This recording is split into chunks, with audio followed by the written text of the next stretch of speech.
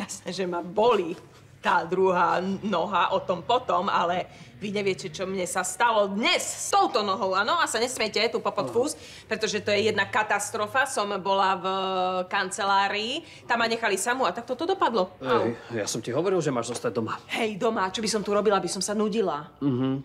Dobre, ale teda tá druhá noha to už nie je moja vina, hej? To je Alexova vina. Lebo on viete, čo urobil? Neviem. Nechal na stole e, fascikel, veľký, to, ťažký jak činky v posilke, vieš, taký ťažký bol ten fascikel, no a ja som ho chytila, mm, nevieš, čo som chcela povedať? Noha, o nohe sa rozprávam. Chytila som ho do rúk a padol mi na tú, á, na tú nohu, veľmi ma teraz boli, už aj druhá noha v ťahu. Takže teraz už aj druhá noha ťa bolí, hej?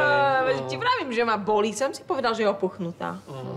Všetko je to kvôli tebe, Tomáš. Počkaj, kvôli mne? Už za to nemôže Alex? Ty si to všetko spustil a začal.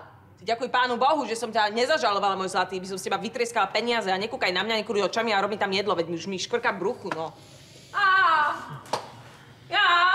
Hovoril som, žiadna šanca. Musíme vymyslieť nový plán. Lepší.